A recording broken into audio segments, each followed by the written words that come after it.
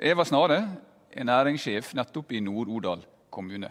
Og hun er her for å snakke om Circle Scan og sirkulær næring i Kongsvinger-regionen. Og jeg gleder meg til å få korrigert mine fordommer. Eva, vær så god.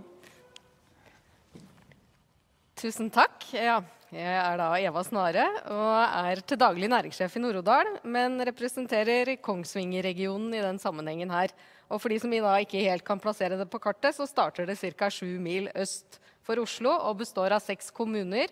Sør-Odal, Nord-Odal, Grue, Åsnes, Eidskog og Kongsvinger, som er bykommunen. Til sammen 45 000 innbyggere. Eh, jeg er her fordi i 2018 var jeg så heldig å få lov til å være med til Circular Hotspot, Circular Economy Hotspot i Glasgow. Og før det var sirkulærøkonomi egentlig noe jeg bare kanskje hadde hørt så vidt om, og forbandt veldig mye med avfall. Men det ble en slags vekkelse å være der og se hvordan resten av Europa jobber med sirkularitet. Og kanskje særlig akkurat hvordan de jobber med sirkularitet i byer. Eh, vi er jo ingen stor by, men vi er en region. Og jeg tenker at det man gjør på byer, kunne man kanskje gjøre også for regioner. Så jeg sendte av gårde en søknad eh, om skjønnsmidler til Fylkesmannen i Innlandet. Og det var vi så heldige å få. Og med en million så hadde vi nok penger til å gå i gang med et scan-prosjekt. Men før det skal jeg si litt mer om eh, Kongsvinger-regionen. Dette er Norsenga tømmerterminal. En av kanskje Norges største.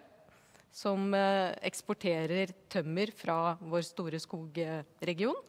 Først og fremst til Sverige. Nesten alt går til Sverige.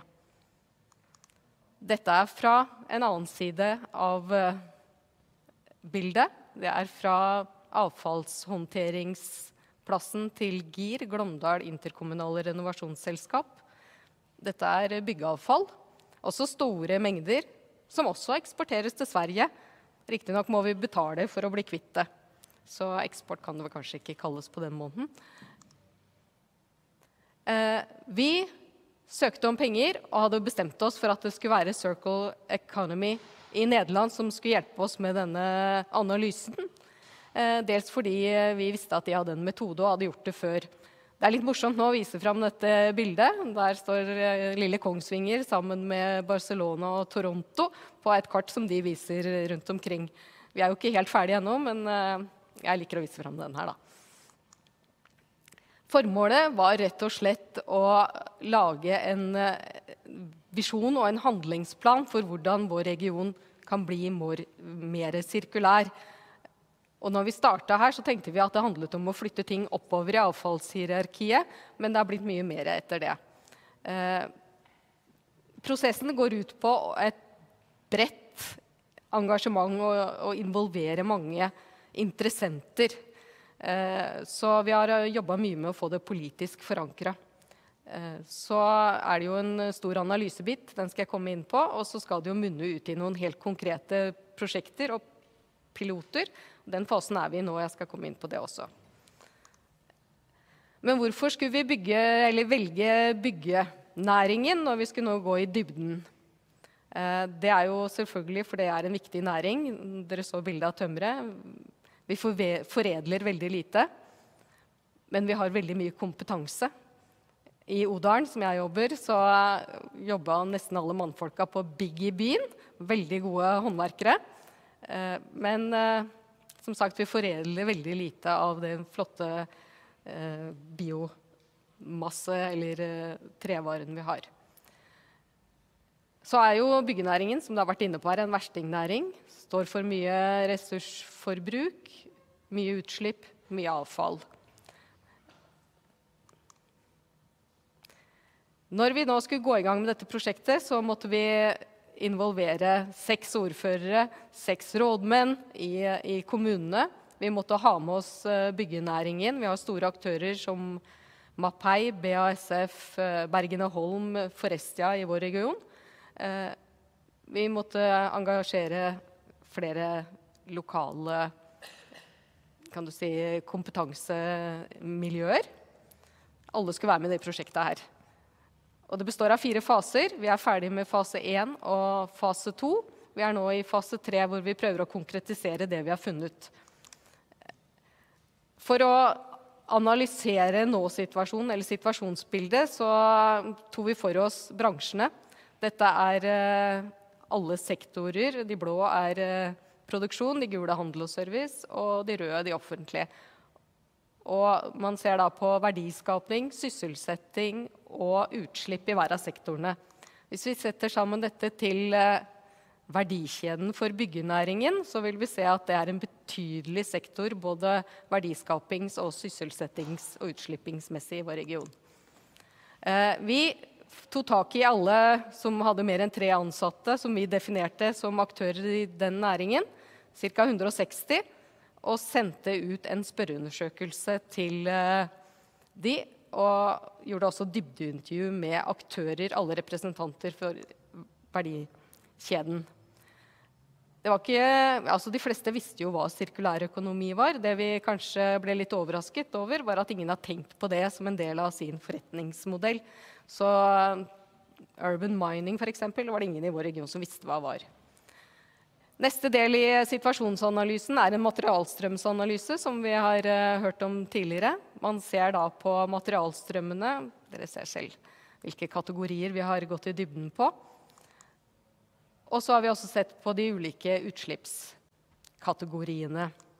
Det resulterer da i dette flotte Sankey-diagrammet, som er Kongsvinger-regionen. Og vi har delt det inn i anlegg, i formålsbygg eller offentlige bygg og i eh, eneboliger. Det er den lengst ut til eh, høyre. Eh, vi har ikke tid til å gå i detalj på det, men det kan vi snakke om senere. Samtidig så, så vi på bygningsmassen i regionen vår og hvordan den er fordelt. Og det er da veldig mange eneboliger i vår region, ikke så mange formålsbygg. Og disse eneboligene er, har mye blandet materiale i seg, altså sement og betong. Ikke så mye tre, men det er fordelt på forskjellige år. Så hvis man ser da utviklingen opp gjennom årene, så var det mer tre i gamle hus. Kanskje ganske naturlig. Og mer og mer betong kom i etterkrigstida inn i vår region. Uh, ja, uh, etter krigen ble det bygd veldig mange hus i vår region. Hvorfor er dette interessant? Jo, for det handler om at vi skal se på potensialet i den eksisterende bygningsmassen. Når den er rivingsmoding, er det da noe vi kan bruke her. Eh, så ser vi også på hvordan eh, veksten er i eh, regionen. Vi vokser jo ikke så fælt, selv om vi ligger såpass tett på Oslo. Så vi har gått for et medium scenario, hvor det skal bygges da ca. 1300 bygg i den kommende perioden, som tilsvarer eh, ja, bygningsmassen i Nord-Odal. For å få materiale nok til det, så måtte vi se på hva ligger i potensialet i de årene. Og årene 20 til 60 er det ganske mye bygg som nå er klare for å kanskje rives, eller i hvert fall eh, pusses opp igjen. Og de består da av nok tre til at vi kunne bruke, gjenbruke en del av dette treet. Det er noen utfordringer i det, for etter hvert så blir jo materialene mer og mer sammensatt. Det er vanskelig å skille. Men eh, jeg får ikke tid til å gå inn på det nå. Vi har definert som en del av denne prosessen noen muligheter, og ting løper jo litt eh, fort. Eh, så vi har begynt å se på noen av disse mulighetene allerede nå. Vi har allerede startet med å bygge et eh, Circle House, som eh, er en prototype på en ungdomsbolig. Vi kan se en liten snutt her, hvis vi rekker det. Så er vi straks i mål. Det er ikke bare eneboliger, det er også veldig mange låver i vår region. Og en av de tingene vi har tenkt, er å bruke en låve som et donorbygg. Veldig mye fint tre der.